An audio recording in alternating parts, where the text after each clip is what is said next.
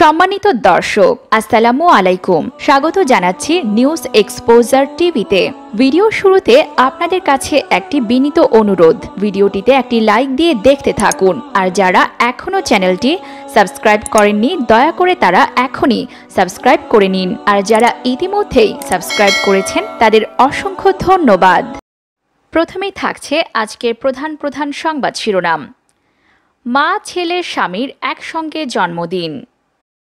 Career ধ্বংসের জন্যই কি ক্ষমা চাওয়ার আলটিমেটাম? প্রশ্ন জয়ের। এবং শেষে থাকছে, আমি যখন সাত লাখ নিয়েছি, সাকিব নিত পনেরো হাজার। আমার অনুরোধেই ওর পারিশ্রমিক বেড়েছে, বললেন পপি। এবার দেখুন বিস্তারিত। মা, ছেলে, স্বামীর একসঙ্গে জন্মদিন।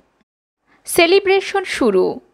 বারোই আগস্ট, ঘড়ির কাটা রাত বারোটা ছুতে কেক কাটা। শুভেচ্ছা বিনিময় আর বইয়ের মিষ্টি চুমু, শ্রাবন্তী আর রোশন সিংয়ের জন্মদিন যে একই দিনে। ইনস্টাগ্রাম সাক্ষী, জোড়া জন্মদিনের প্রথম পর্ব ছিল এমনটাই। আগস্ট এলে প্রজাপতি মন অভিনেত্রীর।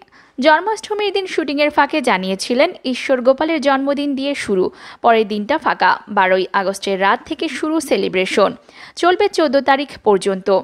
পরপর তিন দিন কিসের সেলিব্রেশন উত্তর এলো, তেরো তারিখ আমাদের জন্মদিন, চৌদ্দ তারিখ ঝিনুকের। প্রতি বছর এই আগস্টের অপেক্ষায় থাকি। বিয়ের আগে যখন শুনেছিলাম আমাদের জন্মদিন এক তারিখে, কি অনুভূতি হয়েছিল? খুব অবাক হয়েছিলাম। মজাও লেগেছিল, আর বুঝেছিলাম এত মিল বলে ঈশ্বর আমাদের মিলিয়ে দিয়েছেন। আবেগ শ্রাবন্তীর গলায়। বিয়ের প্রথম বছরের জন্মদিন, পার্টি তো বনতা হ্যাঁ করনা হ্যাঁ আব হ্যাঁ হবে সেসব। না। উদযাপন, আনন্দ শুধু দুই পরিবারের খুব কাছের মানুষদের নিয়ে। আমি, রোশন, রোশনের পরিবারে দু চারজন থাকবেন। আর আমার মা, বাবা, দিদি, জামাইবাবু। ঝিনুক মধ্যমণি, ওর জন্মদিন চোদ্দ তারিখ। আমি বলি দুদিন জন্মদিন আমার। তেরো তারিখ পৃথিবীতে এসেছি, চোদ্দ তারিখ মা হিসেবে নবজন্ম। তারকা নয়, এই জবাব গর্বিত মায়ের। তাহলে পৃথিবীতে আসার দিন উদযাপনের গল্পই আগে হোক। বলতে নিমিষে মেয়েবেলায় অ্যাবাউট টার্ন শ্রাবন্তীর আগের দিন রাত বারোটা থেকে হুল্লো শুরু। কেক কেটে একে অন্যকে উইশ করা, জন্মদিনের সকালে মায়ের দেওয়া পোশাকে সাজবেন। প্রতি বছর তাই হয়। রৌশনও নতুন পোশাক পরবেন। সমস্ত মার্কেটিং এবার হয়েছে অনলাইনে।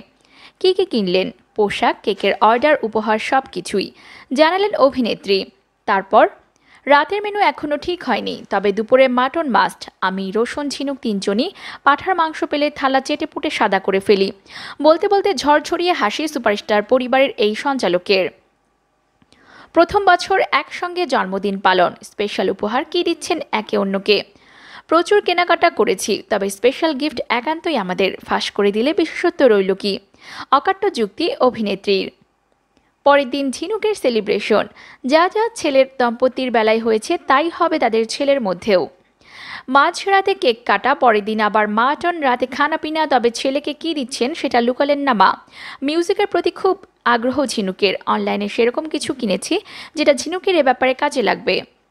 জন্মদিন নিয়ে আরও একটা কথা শেয়ার করলেন তারকা। আমার আর রসুনের জন্মদিনের যোগফল চার, ঝিনুকের পাঁচ। নিউমেরিক্যাল সায়েন্স বলে এই সংখ্যা দুটো নাকি একে অন্যের পরিপূরক, তাই আমাদের সম্পর্ক কোনোদিন নষ্ট হবে না। ক্যারিয়ার ধ্বংসের জন্য কি ক্ষমা চাওয়ার আলটিমেটাম? প্রশ্ন জয়ের। টিভি অনুষ্ঠানে কেবিন ক্রুদের নিয়ে আপত্তিকর প্রশ্ন করায় উপস্থাপক শাহরিয়ার নাজিম জয়কে ক্ষমা চাওয়ার আহ্বান জানিয়েছেন প্রয়াত নায়ক মান্নার স্ত্রী বিমানের কেবিন ক্রু শেলি মান্না। আগামী সাত দিনের মধ্যে জয় নিঃশর্ত ক্ষমা না চাইলে জয়ের বিরুদ্ধে মামলা দায়ের করবেন বলে জানিয়েছেন শেলি মান্না। তবে বিষয়টি নিয়ে শাহরিয়ার নাজিম জয় দুঃখ প্রকাশ করেছেন। তিনি সময় নিউজকে বলেন, আমি কি কারণে ক্ষমা চাব? ক্ষমা চাওয়ার একটা কারণ অবশ্যই থাকে। সেই কারণটা আমি জানলাম না, বুঝলাম না। তবে কি বিষয়ে আমি ক্ষমা চাইব? সেই বিষয়টি কিন্তু আমার কাছে ধোয়াশা। শেলিমান্নার অভিযোগ, জয়ের উপস্থাপনায় জীবনের গল্প অনুষ্ঠানে অবসরপ্রাপ্ত ক্যাপ্টেন মোশতাকে অতিথি করা হয়েছিল। অনুষ্ঠান চলাকালে তাকে অপ্রাসঙ্গিকভাবে বিমানের কেবিন ক্রুদের সঙ্গে ক্যাপ্টেনদের প্রণয় ঘটিত ব্যাপার থেকে শুরু করে বিদেশ থেকে জিনিসপত্র দেশে এনে বিক্রি করার মতো বেশ কিছু সম্মানহানিকর প্রশ্ন করেছেন জয়। এই অভিযোগের বিষয়ে জানতে চাইলে জয় বলেন, আমি আমার অনুষ্ঠানের মাধ্যমে অতিথিদের জীবনের গল্প তুলে নিয়ে আসি। তাদের দীর্ঘ ক্যারিয়ারে অভিজ্ঞতা সম্পর্কে জানতে চাই। আমি তার কাছে জানতে চাইলাম, একসাথে কাজ করতে গিয়ে কেবিন ক্রুদের মধ্যে প্রেম হয় কি? এই প্রশ্নে কী এমন আপত্তিকর বিষয় আছে তা আমার জানা নেই। মুশতাক সাহেব অনুষ্ঠান করে কিন্তু অনেক খুশি। তিনি যদি বলেন, এই প্রশ্নের জন্য আমাকে ক্ষমা চাইতে হবে, তাহলে আমি ক্ষমা চাইব। শেলি মান্নাকে উদ্দেশ্য করে শাহরিয়ার নাজিম জয় বলেন, শেলি ভাবি আমার একজন শ্রদ্ধার মানুষ। তিনি আমাদের মান্না ভাইয়ের স্ত্রী। তিনি যদি অকারণে হাজারবার বলেন, ক্ষমা চাইতে হবে তবে আমার কোনো আপত্তি নেই। কারণ উনি আমার খুবই শ্রদ্ধার মানুষ। তার সাথে আমার কোনো ব্যক্তিগত শত্রুতা নেই। তিনি কেন এমন করেছেন সেটা আমার বোধগম্য নয়। ক্ষমা না চাইলে মামলার আলটিমেটামের বিষয়ে জয় বলেন, মামলা করতে একটা কারণ লাগবে। আর মামলা করলে আদালতে আমারও উকিল থাকবে। এই মামলার কার দিকে অগ্রগতি যাবে সে বিষয়টি কিন্তু আইনের দিকেই থাকবে। আর আমি অকারণে এই বিষয়ে ক্ষমা চেয়ে নিজের ক্যারিয়ার ধ্বংস করব, এটা কোনোভাবেই হতে পারে না। উনি যদি মামলা করেন, তাহলে সেজন্য আমাকে উকিলের পরামর্শ নিতে হবে। আত্মপক্ষ সমর্থনের বিষয়টি তো আইনে আছে। আমি যখন সাত লাখ নিয়েছি, সাকিব নিত পনেরো হাজার।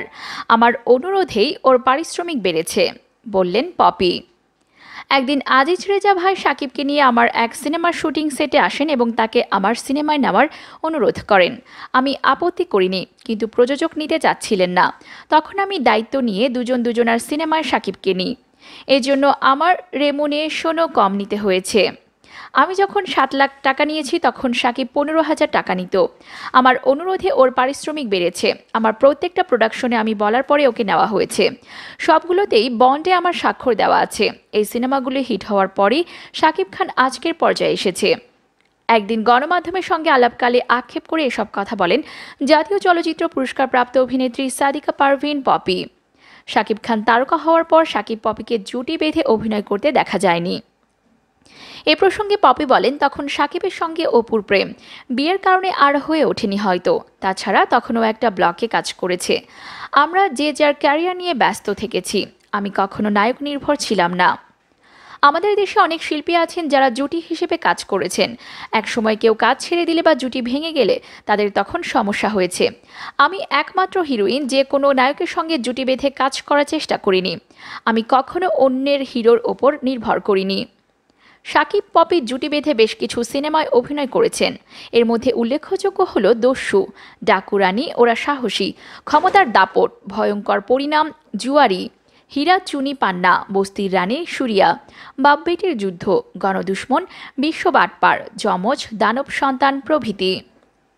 আমাদের এখনকার সংবাদ এ পর্যন্তই।